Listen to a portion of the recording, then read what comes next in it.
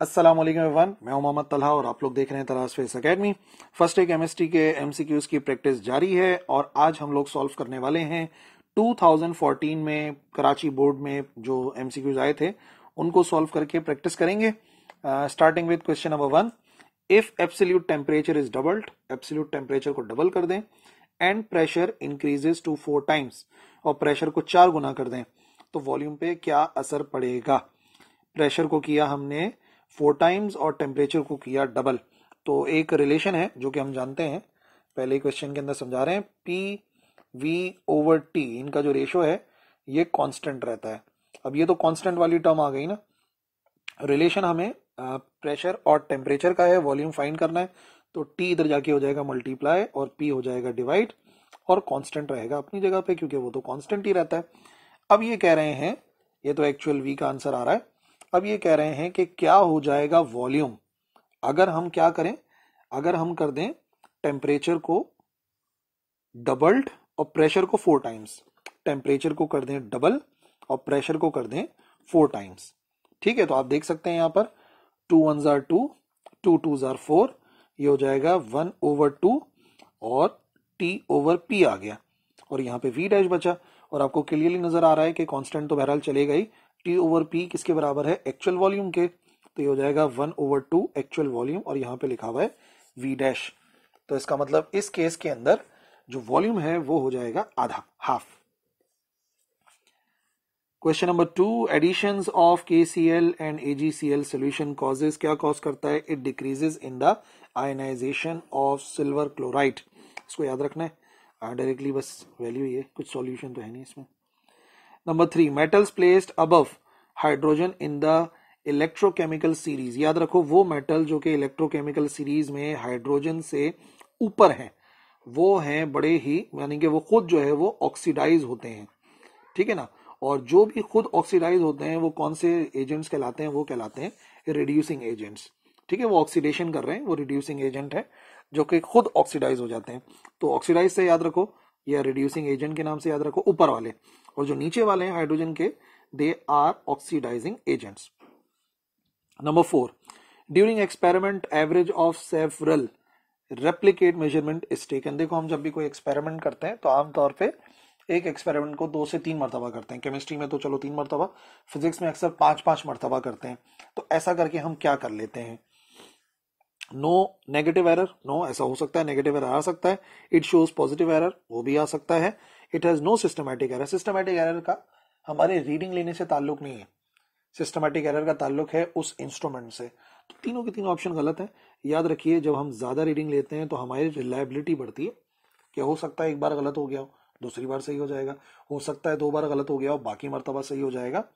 So it makes our reading more reliable number five the basis of motor oil grading जो motor oil की grading की जाती है bikes वगैरह के अंदर, कार वगैरह के अंदर, इंजन में मोटर ऑयल वगैरह हम लोग डलवाते हैं जो कि फ्रिक्शन को रिड्यूस करता है ना।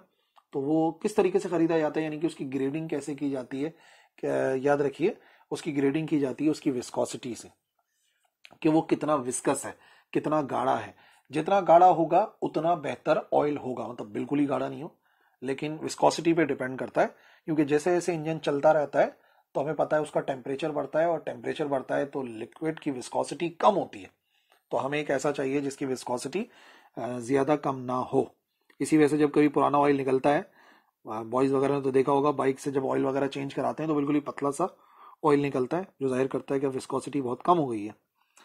Number six diamond is very hard because of अब डायमंड एक्चुअली एक इलेक्ट्रोपिक फॉर्म है कार्बन की तो वो क्यों हार्ड है? एसपी टू हाइब्रिडाइजेशन की वजह से वॉल्स फोर्सेस की वजह से या large amount of energy required to break the bonds actual वजह यह है कि डायमंड के अंदर जो कार्बन है, उनमें क्लोज पैकिंग होती है। एक बात हो गई, और दूसरी बात यह कि large number of covalent bonds होते हैं तो उसको ब्रेक करना मुश्किल हो जाता है। इसी वजह करेक्ट आंसर यही वाला है जो पूरा का पूरा अंडरलाइन हुआ हुआ है। The colour of universal indicator in basic solution basic solution के अंदर जो यूनिवर्सल इंडिकेटर है हमारी बुक के मुताबिक वो वॉयलेट कलर देता है पर्पल कलर देता है which is very closer to deep blue yellow नहीं ग्रीन नहीं ऑरेंज नहीं, ये बहुत ज़्यादा क्लोजर है डीप ब्लू के। इस वजह से अगर आप देखोगे टेबल में बुक में तो आपको पर्पल मिलेगा कलर और which is very much close to deep blue in pi bond electrons density lies only above the nodal plane only below the nodal plane on the nodal plane both above and below the nodal plane सही answer तो यही है both above and below the nodal plane लेकिन उसका थोड़ा सा reasoning इधर देख लेते हैं। दोनों तरफ़ होते हैं। देखो जब हम बनाते हैं ना पाई बॉन्ड्स जब हम पाई बॉन्ड्स बनाते हैं तो इस तरीके से हम लोग पाई बॉन्ड्स बना देते हैं। तो जब हम कोई प्लेन बनाते हैं तो हम ये कहते हैं कि इलेक्ट्रॉन की डेंसिटी ऊपर भी होती है और इलेक्ट्रॉन की डेंसिटी नीचे भी होती है। मतलब ऐसा नहीं है कि इलेक्ट्रॉन की डेंसिटी सिर्फ़ ऊपर होगी या सिर्फ़ नीचे होगी, बल्कि दोनों तरफ़ होती है। इलेक्ट्रॉन इधर भी लाई कर सकता है। इधर भी लाई कर सकता है। दैट्स वाई यहाँ पे मैंने आपके लिए सेलेक्ट किया है both above and below the nodal plane number nine the product of ionic concentration of sparingly soluble salt is equal to the solubility product, the solution is said to be, याद रखिए, हम अगर product मालूम करते हैं आयनिक concentration की और sparingly जो थोड़ा बहुत सॉल्युबल सॉल्ट होता है, और वो बराबर हो जाए उसकी सॉल्युबिलिटी प्रोडक्ट यानी कि के एस पी के तो फिर उस सोल्यूशन को हम क्या कहते हैं? वो सोल्यूशन कहलाता है सेचुरेटेड बिकॉज़ वो इक्वल आ रहा है। अगर इक्वल नहीं आता तो फिर हम उसको कहते हैं कि अनसेचुरेटेड है। लेकिन सेचुरेट तब होगा जब आयनिक कंसेंट्रेशन और सॉलिबिलिटी प्रोडक्ट जो है वो एक दूसरे के इक्वल हो। Number ten the presence of hydrogen bonding in a liquid ये जो हाइड्रोजन बॉन्डिंग है ना लिक्विड के अंदर वो क्या करती है? Causes no effect decreases viscosity decreases boiling point सही आंसर है, वो उसके वेपर प्रेशर पे असर डालती है। जो हाइड्रोजन बॉन्ड है, वो वेपर प्रेशर को कम कर देते हैं। ठीक है ना? और बाकी विस्कोसिटी वगैरह पे तो इतना कोई इफ़ेक्ट पड़ता नहीं है।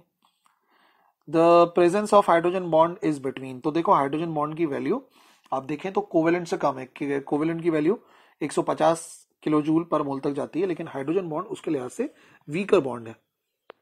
ठीक है, और उसकी जो रेंज है बॉन्ड की एनर्जी है वो 20 से लेके 40 किलो जूल पर मोल होती है। Number 12 the oxidation number of manganese in K M N O four तो के एम एन ओ फोर देख लेते हैं, ये हमारा question number twelve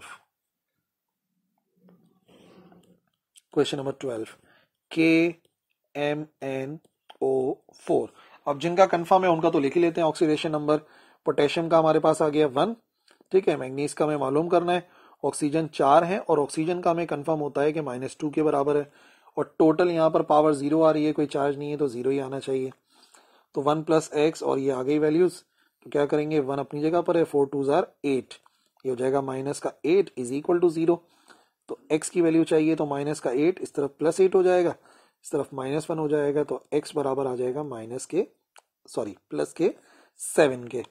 तो ये हो गया उसका ऑक्सीडेशन नंबर प्लस का seven.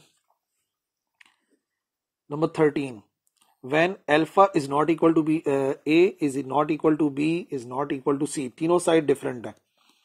एक क्रिस्टलाइन स्ट्रक्चर है सिस्टम है उसके अंदर तीनों साइड्स की लंबाइयाँ डिफरेंट है यानी कि ए भी अलग है बी भी अलग है और नेक्स्ट uh, सी की वैल्यू भी अलग है बट सारे के सारे एंगल 90 डिग्रीज हैं.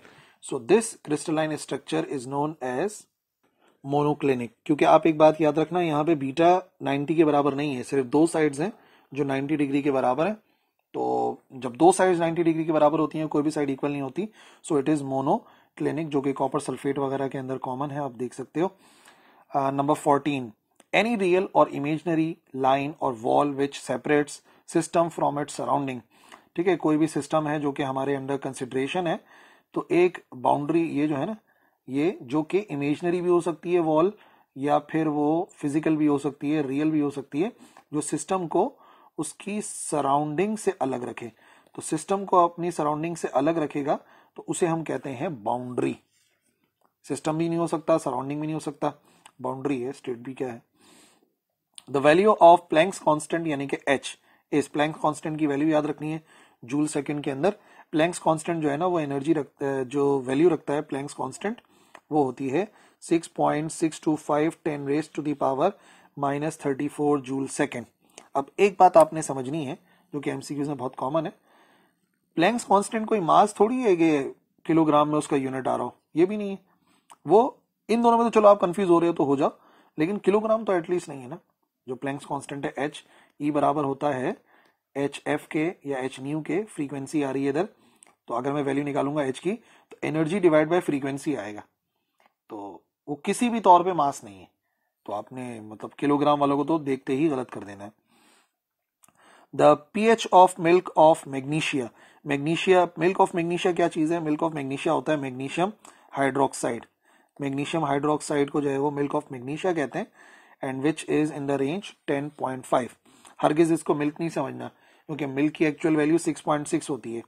अगर आप मिल्क की सिर्फ़ बात कर रहे हो ना, जो नॉर्मल मिल्क है, उसकी P H six point six होती है, लेकिन milk of magnesia which is magnesium hydroxide उसकी वैल्यू होती है ten point five the percentage dissociation of N H four O H S जो परसेंटेज डिसोसिएशन है N H four O H की value याद रखनी है सीधा सीधा।